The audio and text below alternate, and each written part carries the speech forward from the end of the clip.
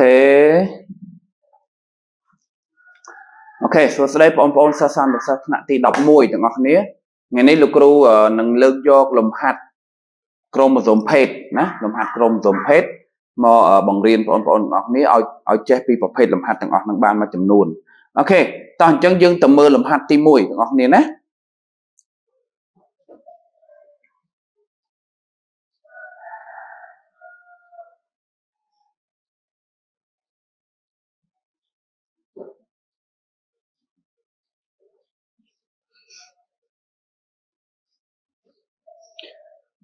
អូខេអញ្ចឹងប្រភេទលំហាត់ទី1យើងមកអានប្រធានជាមួយលោកគ្រូអញ្ចឹងប្រធានលំហាត់ទី1ណាចំពោះលក្ខណៈពណ៌ភ្នែករបស់ Drosophil ស្ថិតនៅលើក្រូម៉ូសូមភេទ X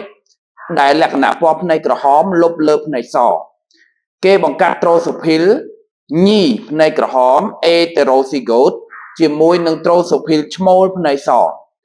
កចូលសរសេរការីយ៉ូទីបរបស់ Drosophil ឬយើងហៅថារូបមន្តក្រូម៉ូសូមរបស់ត្រូសូភីលដែលគេឲ្យមកត្រូសូភីលមានក្រូម៉ូសូម diploid 2n ស្មើនឹង8ខចូលកំណត់សមមាត្រភាគរយនៃលក្ខណៈពណ៌ភ្នែករបស់ត្រូសូភីលនិងភេទញីអឺឈ្មោលរបស់កូននៅចំនួនទី1បានន័យថាពណ៌ភ្នែកញីមានម៉ានពណ៌ភ្នែកឈ្មោលមានម៉ានហើយមានម៉ានភាគរយនៅចំនួនទី1ហ្នឹងអូខេអញ្ចឹងសម្រាប់លំហាត់ទី1របស់យើងបំរាប់យើងមើលបំរាប់ណា ចឹងបំរាប់របស់យើងបាទបំរាប់ទី1របស់យើង គេប្រាប់ថាផ្នែកក្រហមលុបលើផ្នែកសបាទត្រូសូភីលបាទត្រូសូភីលផ្នែកក្រហមលុបបាទអញ្ចឹងត្រូសូភីលបាទផ្នែកសគឺអន់ បាទអញ្ចឹងបើភ្នែកក្រហមលុបគឺភ្នែកសអន់ហ្នឹងបាទហើយគេប្រាប់វាថាវាស្ថិតនៅលើក្រូម៉ូសូមភេទ X វាណាអញ្ចឹង Zen ស្ថិតនៅលើក្រូម៉ូសូមភេទ X ស្ថិតលើបាទក្រូម៉ូសូម X ណាស្ថិតនៅលើ X អូខេហើយគេប្រាប់មួយទៀតគឺ 2n វាស្មើនឹង8ក្រូម៉ូសូម បាទ 2n ស្មើនឹង8ក្រូម៉ូសូមណាកូនណាបាទអញ្ចឹងសំណួរកសរសេរការីយ៉ូទីបរបស់ត្រូសូភីលសរសេរ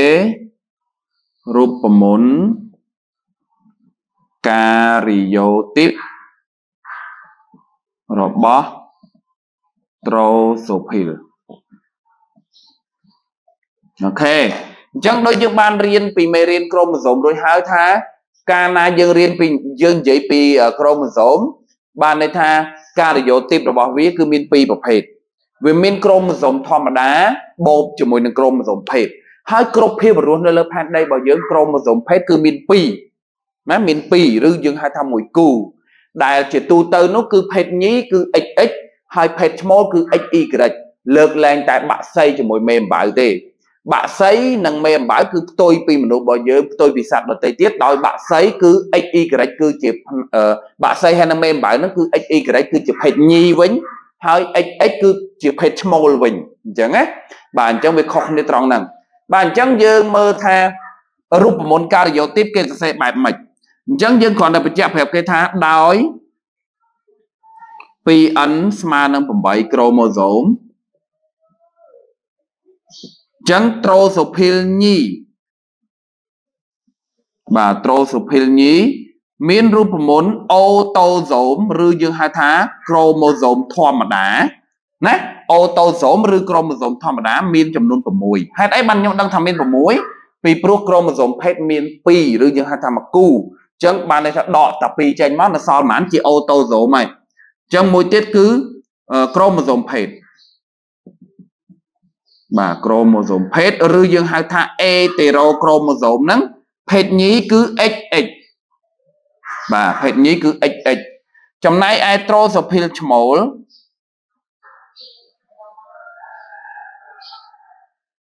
បាទត្រូសូភីលឈ្មោលគឺមានអូតូសូម6ដូចគ្នា មានអូតូសូមស្មើ6ដូចគ្នា ហើយនឹងអេតេរ៉ូក្រូម៉ូសូមខ្ញុំសរសេរឈ្មោះពីរយ៉ាងឲ្យយើងស្គាល់ទាំងពីរណាអានេះអឺខ្ញុំដាក់នេះអញ្ចឹងខ្ញុំដាក់នេះថាក្រូម៉ូសូមធម្មតាអញ្ចឹងអូតូសូមឬក្រូម៉ូសូមធម្មតាណាបាទក្រូម៉ូសូមបាទក្រូម៉ូសូមធម្មតា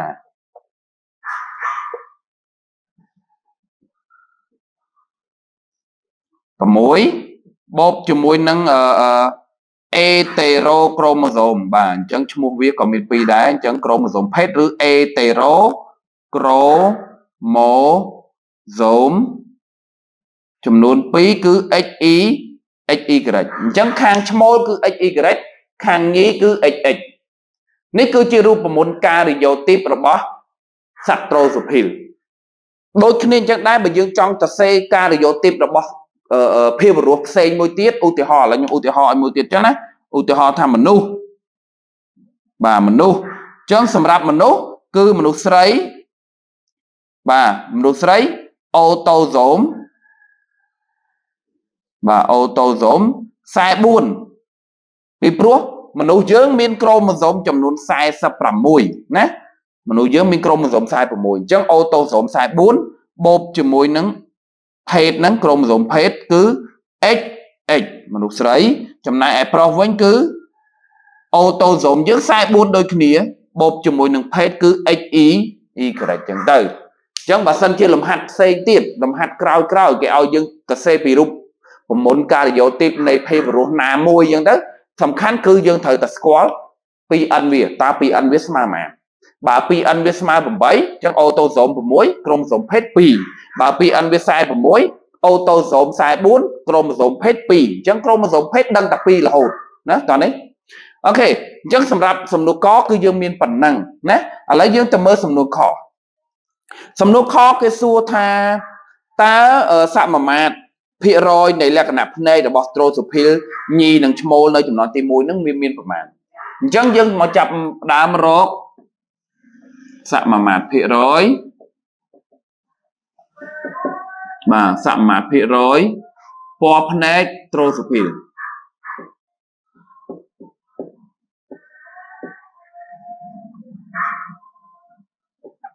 បាទពណ៌ភ្នែកត្រូសូភីលអញ្ចឹងបំរាប់របស់យើង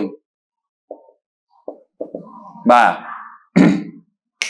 អូខេអូសំទោសបំរាប់របស់យើងយើងយើងសរសេររួចនៅក្នុងនេះអស់ហើយអញ្ចឹងយើងមិនបាច់សរសេរបំរាប់ទៀតទេ យើងគ្រាន់តែវិចារប្រាប់គេតែម្ដងថានេះយើងតាំងអាឡែយកមកមកព្រោះយើងមានអានេះលក្ខណៈលុបដឹងហើយអាណាលុបអាណាអន់ហើយវាស្ថិតនៅលើអីណាយើងតាំងអាឡែអញ្ចឹងខ្ញុំតាំងអាឡែអក្សរ A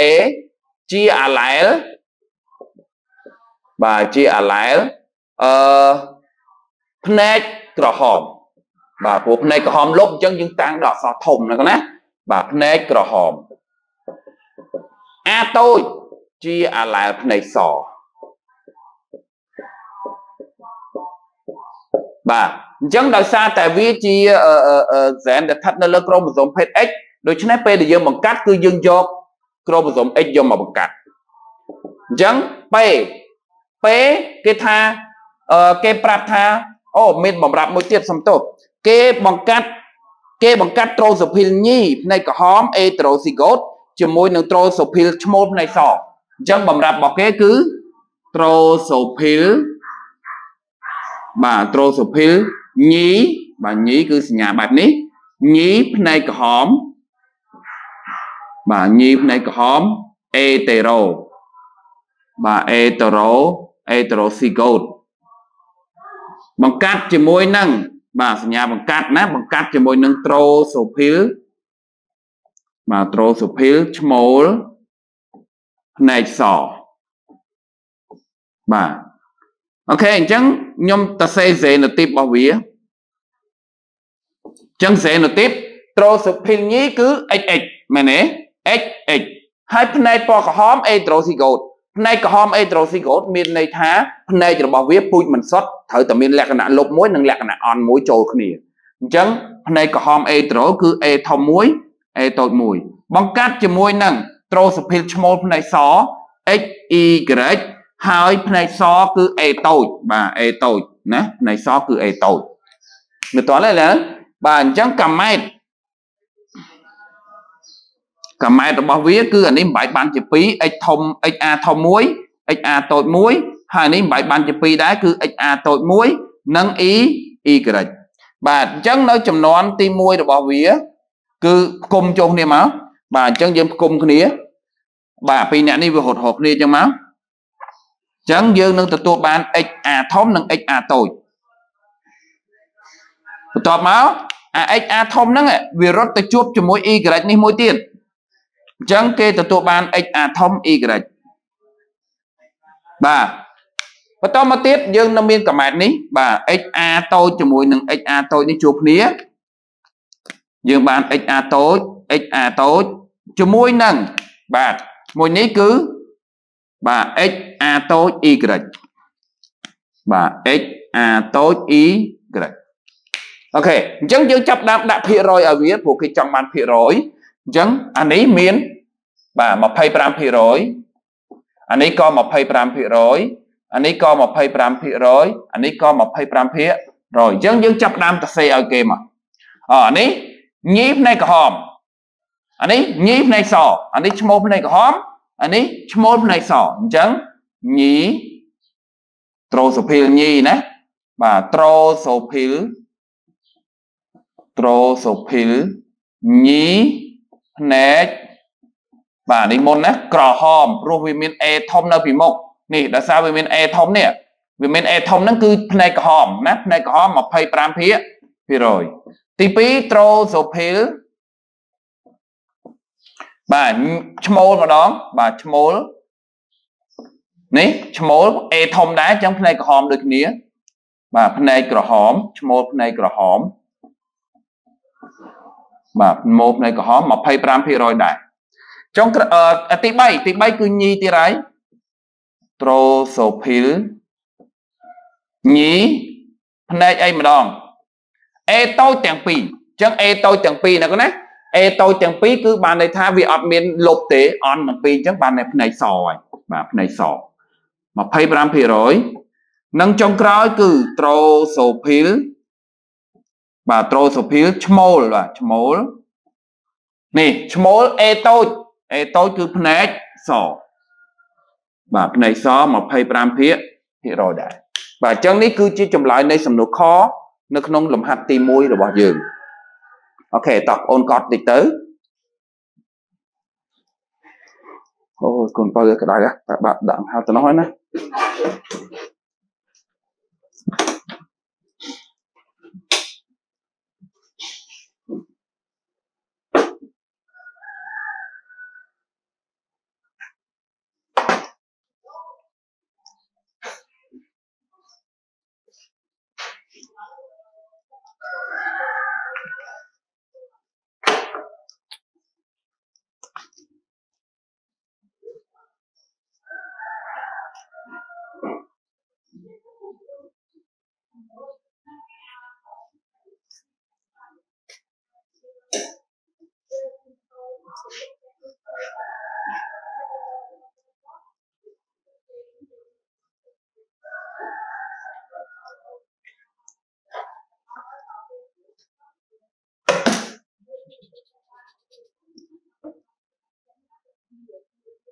អូខេអញ្ចឹងឥឡូវយើងចូលដល់លំហាត់ទី2ខ្ញុំសុំចូលទៅលំហាត់ទី2បាទលំហាត់ទី2អឺយើងមាន បាទលំហាត់ទី2របស់យើងគឺលក្ខណៈភ្នែករបស់ត្រូសូភីលដដែលអញ្ចឹងលំហាត់ហ្នឹងគឺដដែលទេអឺគ្រាន់តែដូរប្រធានបន្តិចណាអញ្ចឹងលក្ខណៈភ្នែករបស់ត្រូសូភីលស្ថិតនៅលើក្រូម៉ូសូមភេទ X ដោយគេដឹងថាភ្នែកក្រហមជាលក្ខណៈលុប ហើយភ្នែកសជាអ្នកលក្ខណៈអន់អញ្ចឹងនៅក្នុងមេរៀនគឺគេនិយាយចឹងហ្មងថាភ្នែកក្រហមលុបភ្នែកសអន់គេបង្កាត់ត្រូសូភីលភ្នែកក្រហមពូជមិនសុទ្ធបាទត្រូសូភីលញីភ្នែកក្រហមពូជមិនសុទ្ធជាមួយនឹងត្រូសូភីលឈ្មោលភ្នែកក្រហមដូចគ្នា ហើយនៅចំនួនទី1 FR គេទទួលបានកូនត្រូសូភីលឈ្មោលគេទទួលបានកូនត្រូសូភីលឈ្មោលអឺសរុបចំនួន200 បាទកូនត្រូសូភីលឈ្មោលសរុបចំនួន200កតើចំនួនកូនត្រូសូភីលផ្នែកក្រហមមានប៉ុន្មានញីមានប៉ុន្មានឈ្មោលមានប៉ុន្មានខតើចំនួនកូនត្រូសូភីលផ្នែកសមានប៉ុន្មានហើយផ្នែកញីមានប៉ុន្មានឈ្មោលមានប៉ុន្មានអូខេអញ្ចឹងប្រធាននេះគឺខុសកន្លែងខាងលើបន្តិចយើងកុំកុំដាក់ថាត្រូសុភិលឈ្មោល200អញ្ចឹងកន្លែងហ្នឹងគាត់ដាក់ថាកូនត្រូសុភិលមានចំនួន200ទៅបានហើយណាអញ្ចឹងគេទទួលបានកូនត្រូសុភិលទាំងអស់200ក្បាលហើយសំណួរកគេសួររកត្រូសុភិលញីមានប្រមាណណាផ្នែកក្រហមមានប្រមាណផ្នែកឈ្មោលមានប្រមាណហើយដល់ពេលផ្នែកខវិញគេសួរអាផ្នែកសមានប្រមាណញីមានប្រមាណឈ្មោលមានប្រមាណអូខេតោះអញ្ចឹងយើងទៅមើលសំណួរលេខលំហាត់លេខ2ទាំងអស់គ្នា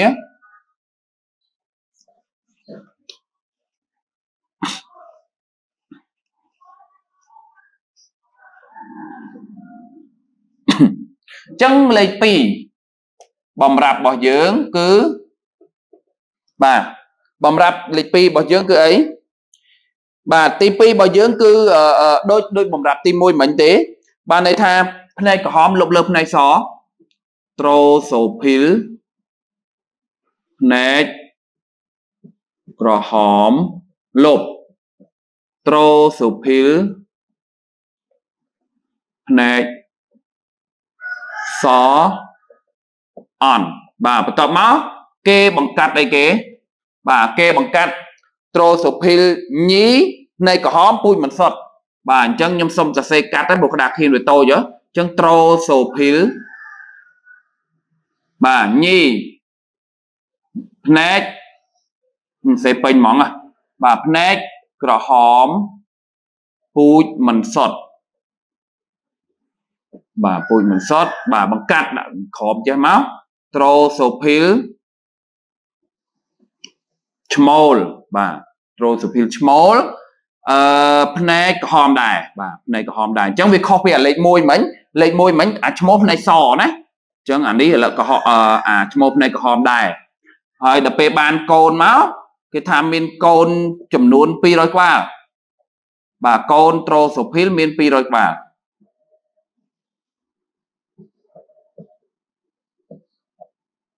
បាទអញ្ចឹងក្នុងផាននេះគេបានប្រាប់ចំនួនកូន មានចង្អស់200ក្បាលហើយសំណួរករករកកូនត្រូសូភីលផ្នែកក្រហមបាទរកកូនត្រូសូភីលផ្នែកក្រហមបាទផ្នែកក្រហមរកកូនត្រូសូភីលផ្នែកក្រហមអឺ ញីនិងឈ្មោលបានន័យថារកអាញីមានម៉ានឈ្មោលមានម៉ានបាទអញ្ចឹងយើងមើលយើងត្រូវតាំងអាឡែលឲ្យគេដូចអានោះចឹងណាតាំងអាឡែលសិនមកអញ្ចឹងយើងតាំង A ដដែលបាទខ្ញុំតាំង A ដដែលជាអាឡែលជាអាឡែលផ្នែកក្រហមបាទជាអាឡែលផ្នែកក្រហមហើយ A តូចជាអាឡែលផ្នែកស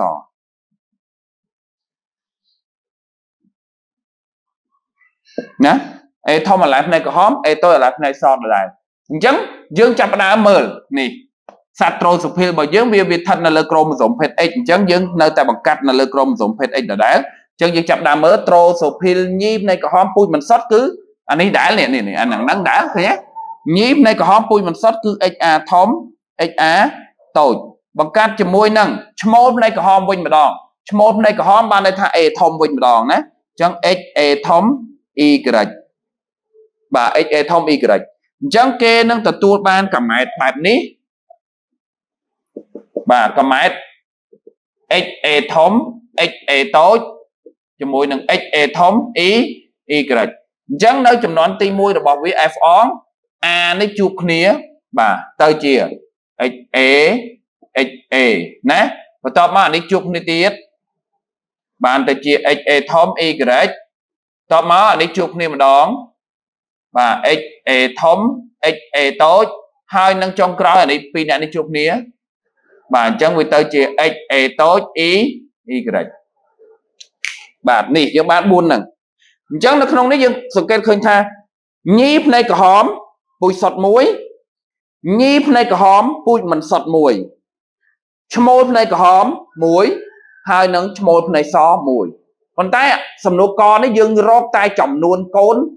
ផ្នែកក្រហមទេអញ្ចឹងយើងអត់អត់និយាយពីផ្នែកសនេះណាចាផ្នែកសយើងទុកចោលសិនអញ្ចឹងយើងចាប់ដើមមកបកស្រាយចំនួនកូនវិញម្ដង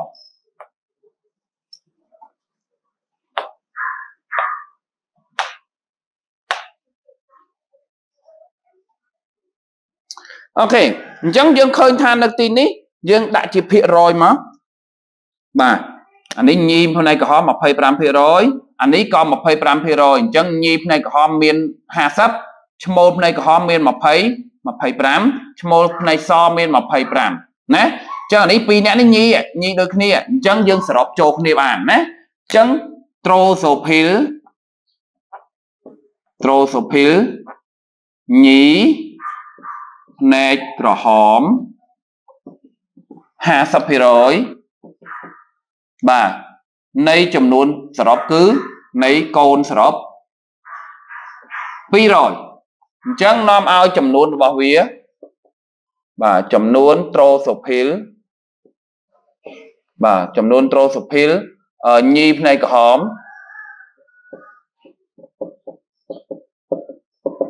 បាទអញ្ចឹងចំនួនត្រូសូភីលកូនត្រូសូភីលញីផ្នែកក្រហមត្រូវស្មើនឹង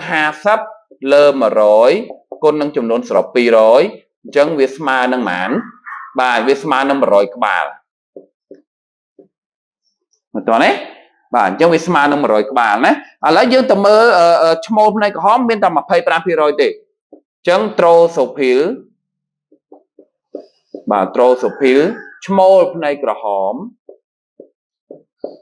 បាទឈ្មោលផ្នែកក្រហម ស្មើនឹង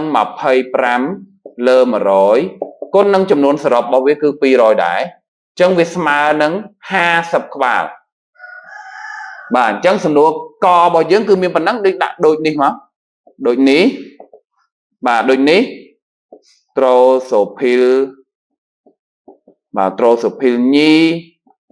ផ្នែកក្រហមស្មើ100ក្បាលណា100ក្បាលអត្រូសូភីល បាទត្រូសភិលឈ្មោលនៃក្រហមស្មើនឹង50ក្បាលបាទអញ្ចឹងនេះចប់មួយ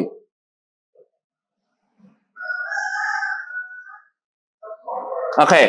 ឡូវយើងទៅមើលសំណួរខគេសួររកអីបាទសំណួរខគេសួររកនេះវិញម្ដងនេះតាមផ្នែកសមានប៉ុន្មានភាគរយញីមានប៉ុន្មានឈ្មោះមានប៉ុន្មានអញ្ចឹងរកកូន ត្រូសូភីលផ្នែកសញីនិងឈ្មោលអូខេអញ្ចឹងនៅក្នុងលំហាត់នេះផ្នែកសញីអត់មានទេអញ្ចឹងយើងឃើញថាអឺអឺកូនត្រូសូភីលបាទត្រូសូភីលញីផ្នែកសស្មើនឹង0% បាទអញ្ចឹងមានន័យថាស្មើ0ក្បាលអូខេ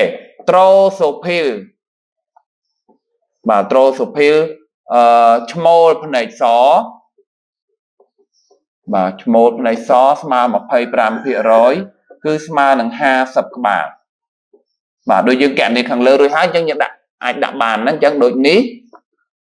ត្រូសូភីលបាទត្រូសូភីលឈ្មោល ផ្នែកស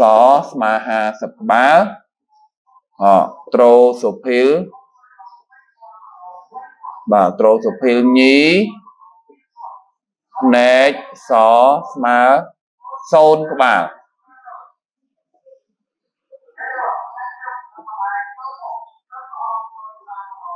អូខេបាទនេះគឺជាលំហាត់ទី2របស់យើង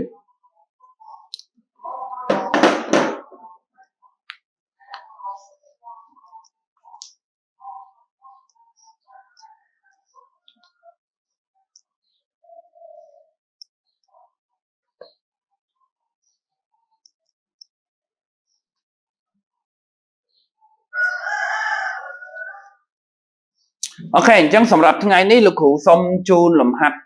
ពីរលំហាត់នឹងសិនយើងនឹងជួបគ្នានៅថ្ងៃស្អែកបន្តទៀតខ្ញុំនឹងបន្ថែមឲ្យពីរលំហាត់ទៀតណា OK អរគុណសម្រាប់ការតាមដាននៅថ្ងៃនេះជម្រាបលា